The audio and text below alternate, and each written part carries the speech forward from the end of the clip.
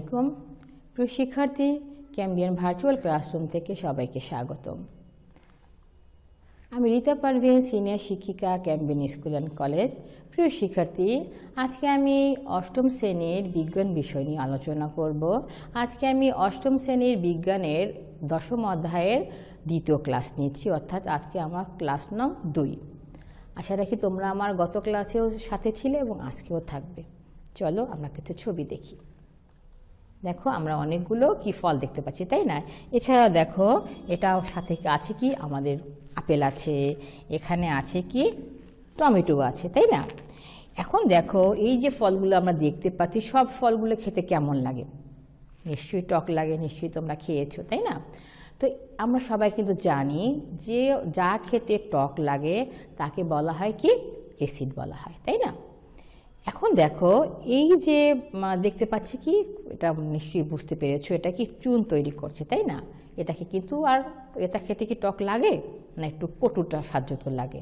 আগের ক্লাসে কিন্তু পড়িয়েছিলাম, এটা খেতে নিশ্চয়ই টক লাগে না। এটা খেতে লাগে কেমন? কটু স্বাদযুক্ত। তার মানে এটা হচ্ছে কি ক্ষারক তো শিক্ষার্থী আমরা ক্ষারক এবং অ্যাসিড কি চিনতে পেরেছি? আজকে তাহলে কি পড়ব তোমরা নিশ্চয়ই বুঝতে পেরেছ। আজকে আমরা পড়ব এই যে অ্যাসিড এবং ক্ষারক আছে, এর প্রতিনিয়ত যে ব্যবহারগুলো হয় সেগুলো কি? সেটা কি করতে পারবে? ব্যাখ্যা করতে পারবে। চলো শিক্ষার্থী, আমরা মূল পাঠে চলে যাই। দেখো, এটা আমরা কেন পড়ব সেটা আগে দেখি। এটা আমরা পড়ব, অ্যাসিড এবং ক্ষারক কি তার মধ্যে পার্থক্য নিরূপণ করতে পারবে? বাস্তব জীবনে এর সঠিক ব্যবহার ব্যাখ্যা করতে পারবে এবং অম্লক্ষারকের যে ব্যবহার আছে তা কী করতে পারবে? ব্যাখ্যা করতে পারবে। তাই না? এবার চলো শিক্ষার্থী, আমরা মূল আলোচনায় চলে যাই। দেখো শিক্ষার্থী, প্রথমে আমি কি লিখেছি? জৈব অ্যাসিড। বলো তো, জৈব অ্যাসিড কি? জানো? জৈব অ্যাসিড কাকে বলে? জৈব অ্যাসিড হচ্ছে সেই সকল অ্যাসিড যা আমরা খেতে পারি, অর্থাৎ যা আমাদের আর ফল, মূল, সবজি থেকে আমরা পেয়ে থাকি। সহজে বলতে পারি যে এসিড আমরা খেতে পারি, তাকে বলা হয় কি এসিড জৈব অ্যাসিড এবার চলো শিক্ষেত্রে আমরা কিন্তু জৈব অ্যাসিডের উদাহরণ দেখে নিই। দেখো, আমরা এখানে অনেকগুলো ফল দেখতে পাচ্ছি। এছাড়া আরও দেখতে পাচ্ছি কি? চা এগুলো সবই কিন্তু আমাদের কি অ্যাসিড জৈব অ্যাসিড কারণ কি? আনারস, টমেটো, তেঁতুল, আপেল, চা। এখন বলো তো চায়ে কোন অ্যাসিড থাকে? চায়ে থাকে ট্যানিক অ্যাসিড তো শিক্ষার্থী, আমরা জৈব অ্যাসিডগুলো দেখলাম কি কি আমরা প্রতিনিয়ত খেয়ে থাকি। এছাড়া আরও আছে, দেখো, এই যে দেখো, এখানে আছে কি? আমলকি, চালতা, আমড়া এবং আছে কি? পেয়ারা। এখন বলো শিক্ষার্থী, এগুলোর মধ্যে কোন ভিটামিন থাকে? ভিটামিন সি থাকে। আর ভিটামিন সিতে কোন অ্যাসিড থাকে? অ্যাসকর্বিক অ্যাসিড থাকে তাই না? এবার দেখো শিক্ষার্থী যে ভিটামিন সি আসলে ভিটামিন সি আমাদের কিন্তু ডাক্তাররা সবসময় বলে যে পর্যাপ্ত পরিমাণে ভিটামিন সি যুক্ত খাবার খেতে বলে। কেন বলে বলো তো? তার কারণ হচ্ছে ভিটামিন সি যুক্ত খাবার খেলে আমাদের যে স্কারভি নামক এক ধরনের রোগ হয়, এই রোগগুলো আর আমাদের হবে না। এ থেকে আমরা পরিত্রাণ পাবো। এছাড়াও দেখো, এই যে আমাদের দাঁতের এনামেল, দাঁতের যে বিভিন্ন ক্ষয় হয়, এই ক্ষয়গুলো কিন্তু পর্যাপ্ত পরিমাণে ভিটামিন সি খেলে হবে না। ঠিক আছে? এবার দেখো শিক্ষার্থী, আমি একটা বিক্রিয়া দিয়েছি। বিক্রিয়াটা কি দেখো? আমরা কিন্তু বিক্রিয়াটা দিয়েছি যে ক্ষারক। ক্ষারকটা কি করে? দেখো, আমরা অ্যাসিডের আগে ক্ষারকটা সম্বন্ধে পড়ছি। দেখো, বিক্রিয়াটা কি দিয়েছে? ক্যালসিয়াম হাইড্রোক্সাইড আর কি আছে? ক্লোরিন। বিক্রিয়া করে কি তৈরি হয়েছে? Bleaching powder. এবার দেখো, ব্লিচিং পাউডার সংখ্যাটা কিন্তু তোমরা পড়ে রাখবে। ব্লিচিং পাউডার সংখ্যাটা কিন্তু তোমাদের পরীক্ষাতে আসে। এই যে ব্লিচিং পাউডার, এই ব্লিচিং পাউডাররা মূলত কী কাজে ব্যবহার করে বলো তো? ব্লিচিং পাউডারটা পানি বিশুদ্ধকরণ, এছাড়াও কোনো কোথাও যদি স্যাঁতসেঁতে হয় বা নোংরা হয়, সেই জায়গা জীবাণুনাশক হিসেবে কিন্তু আমরা এই ব্লিচিং পাউডারটা ব্যবহার করে থাকি। এছাড়াও দেখো, এই যে লেখা আছে কি, দেখো, বোর্ডের দিকে তাকিয়ে দেখো, চুন, চুনের সংকেত কি? সিএও আর দেওয়া আছে কি? পানি। বিক্রিয়া করে কি হয়? CAOH bracket two. চুনের পানি। কিন্তু এই চুনের পানি কিন্তু একটা রাসায়নিক নাম আছে, তাকে বলা হয় কি? লাইম ওয়াটার অর্থাৎ শিক্ষার্থী, আমরা কিন্তু একটা সহজই সংজ্ঞাটা বলতে পারি যে ক্যালসিয়াম হাইড্রোক্সাইডের পাতলা দ্রবণকে কি বলা হয়? লাইম ওয়াটার বলা হয়। এবার দেখো শিক্ষার্থী, ক্যালসিয়াম হাইড্রোক্সাইড পাতলা দ্রবণকে লাইম ওয়াটার বলা হয়। কিন্তু ক্যালসিয়াম হাইড্রোক্সাইডের যে তৈরি পেস্ট অর্থাৎ যদি আমরা উপর থেকে পানিটাকে ছেঁকে ফেলে নিচে কিন্তু আমরা পেস্টের মতো পাই, সেটাকে কিন্তু আমরা বলি কি মিল্ক অফ লাইম তাই না? আর দেখো, এটা কোথায় ব্যবহার করা হয়? এটা পোকামাকড় দমনে এবং হোয়াইট ওয়াশ করার জন্য এই মিল্ক অফ লাইমটা ব্যবহার করা হয়। এছাড়াও দেখো, শিক্ষার্থী, আমি এখানে দেখাচ্ছি কি পেটে আগুন জ্বলছে। আসলে কি আমাদের পেটে কখন আগুন জ্বলে?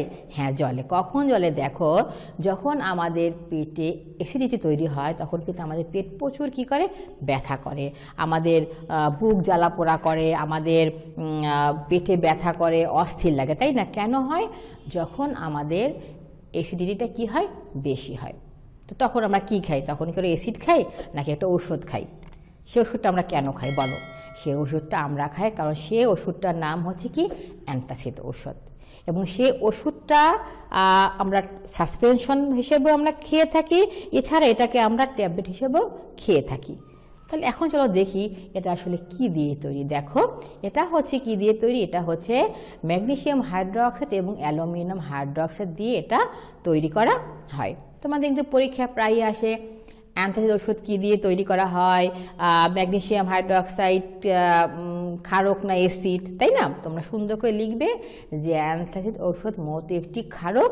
এটি তৈরি উপাদান হচ্ছে ম্যাগনেসিয়াম হাইড্রোক্সাইড এবং কি? Aluminium hydroxide. তাই না? এবার দেখো শিক্ষার্থী, আমরা কিন্তু ক্ষারকের কথা শেষ করলাম।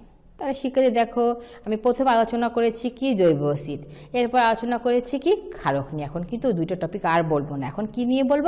অ্যাসিড নিয়ে বলব। কোন অ্যাসিড দেখো সালফিউরিক অ্যাসিড সালফিউরিক অ্যাসিডটাকে বলা হয় খনিজ অ্যাসিড কেন বলা হয় বলতো? কারণ ওই যে বললাম, যে অ্যাসিড আমরা খাওয়া থেকে পেয়ে থাকি, অর্থাৎ ফল, মূল, শাকসবজি থেকে পেয়ে থাকি, তাকে বলা হয় যেমন জৈব অ্যাসিড তেমনিভাবে যে অ্যাসিডকে আমরা খনিজ থেকে পেয়ে থাকি, তাকে বলা হয় কি অ্যাসিড খনিজ অ্যাসিড হুম? এখন দেখো, এই যে খনিজ অ্যাসিড এটা যদি কেউ অপব্যবহার করে, তার কী হবে? পুরস্কার দিবে না ফাঁসি দিবে? এই যদি কেউ অ্যাসিড কারোর গায়ে নিক্ষেপ করে বা অপব্যবহার করে, তার তার নিশ্চিত কি? মৃত্যুদণ্ড। ঠিক আছে? এবছর শিক্ষার্থী আমরা সালফোরিক অ্যাসিডের অন্য কিছু ব্যবহার দেখে নিই। যেমন দেখো, এখানে কি দেওয়া আছে? কাগজ শিল্প। এছাড়া আরও দেখা, দেওয়া আছে কি? রেয়ন শিল্প। এই সকল জায়গায় কিন্তু সালফিউরিক অ্যাসিড ব্যবহার করা হয়। এছাড়া দেখো আরও আছে, আমরা যদি মাইক বাজাই, না আমরা মাইক বাজাই, এই মাইকের যে ব্যাটারি, তাও কিন্তু আমরা হচ্ছে এই অ্যাসিড দিয়ে তৈরি করে। এছাড়া ওই যে বিস্ফোরক হ্যাঁ? তারপরে হচ্ছে তোমার সৌর বিদ্যুৎ এই সকল জায়গায় কিন্তু তোমার এই সালফিউরিক অ্যাসিড ব্যবহার করা হয়। এছাড়া কী আছে? রং এবং তোমার যে ডিটারজেন্ট তৈরি করা হয়, সেই ডিটারজেন্ট তৈরি করাতেও কিন্তু এই সালফিউরিক অ্যাসিড ব্যবহার করা হয়। যেমন দেখো, এই যে সালফিউরিক যে বলেছিলাম মাইক বাজানোর কথা। এই যে মাইক বাজানোর যে ব্যাটারিটা ব্যবহার করা হয়, সেই ব্যাটারিটা তৈরি, বাজার ব্যাটারিটার তো মধ্যেও কিন্তু সালফিউরিক অ্যাসিড থাকে। এছাড়াও দেখো, শিক্ষার্থী কার্বলিক অ্যাসিড, এটা কি? এটা কি করে বলো তো? এটা হচ্ছে আমাদের বাসা বাড়িতে যে সাপের উপদ্রব হয়, এই সাপের উপদ্রব বাঁচানোর জন্য আমরা কার্বলিক অ্যাসিড ব্যবহার করি। এছাড়াও দেখো, শিক্ষার্থী, এটা কি আমাদের পাকস্থলী? তাই না? এখন তোমরা কি বলতে পারো? আমাদের পাকস্থলীতে কোন এসিড থাকে যে আমাদের খাদ্যকে হজম করে? নিশ্চয়ই বলতে পারো। তার নাম হচ্ছে কি দেখো? তার নাম হচ্ছে কি? হাইড্রোক্লোরিক অ্যাসিড আমাদের এই যে আমরা এত এত খাবারগুলো খাই, সব খাবারগুলোকে কিন্তু হজম করে ফেলে কি এই হাইড্রোক্লোরিক অ্যাসিড আল্লাহ প্রদত্তভাবে আমাদের পাকস্থলীর গাত্র থেকে হাইড্রোক্লোরিক অ্যাসিড নির্গত হয় এবং সে কি করে? এই খাবারগুলোকে হজম করতে সহযোগিতা করে। তাই না? এবার দেখো, শিক্ষার্থী, এছাড়াও আমাদের কিন্তু হাইড্রোক্লোরিক অ্যাসিডের আরও কিছু ব্যবহার আছে। চলো আমরা ব্যবহারগুলো দেখে নিই। দেখো, ব্যবহারগুলো কি আছে? ইস্পাত কারখানা, চামড়া শিল্পেও আমরা হাইড্রোক্লোরিক অ্যাসিড ব্যবহার করি। এছাড়াও দেখো নাট্রিক অ্যাসিড। নাট্রিক অ্যাসিড কোথায় ব্যবহার করা হয়? দেখো ডাকের অ্যাসিড রকের জ্বালানিতে নাট্রিক অ্যাসিডটা ব্যবহার করা হয়। শিক্ষার্থী, আমরা কিন্তু একদম আমাদের পাঠের শেষে চলে এসেছি। দেখো আমি মূল্যায়ন তোমাদের অল্প কিছু প্রশ্ন রেখেছি। দেখো তো পারো কি না? প্রথমে কি দিয়েছি? পোকামাকড় দমনে কি ব্যবহার করা হয়? বলো, কি ব্যবহার করে? একটু কিন্তু ছবি দেখিয়েছিলাম। এরপরে কি বলেছি? মিল্ক অফ লাইম কি? বলো তো, ক্যালসিয়াম হাইড্রোক্সাইডে কি? তৈরিকৃত পেস্ট। এরপরে কি কোন অ্যাসিডের অভাবে স্কাইবি রোগ হয়? মনে আছে? ছবি দেখিয়েছিলাম কি? ভিটামিন সি এবং ভিটামিন সিতে কোন অ্যাসিড থাকে? স্কর্বিক অ্যাসিড। আর তার অভাবে কি রোগ হয়? স্কাইবি রোগ হয়। এবার শিক্ষার্থী, তোমাদের অল্প একটু অনুশীলনে দিয়েছি। দেখো, আমাদের খাদ্য হজম করার জন্য পাকস্থলীতে কোন অ্যাসিড অত্যাবশ্যক? বলো, কোন acid? Sulphuric acid hydrochloric acid না নাট্রিক অ্যাসিড? বলো তো। অবশ্যই তোমরা বলতে পারবে, সেটা হচ্ছে কোন acid hydrochloric acid hydrochloric acid আছে বলেই কিন্তু আমরা এত এত খাবার খেয়েও সবগুলো কি করতে পারি? হজম করতে পারি, হজম হয়ে যায়।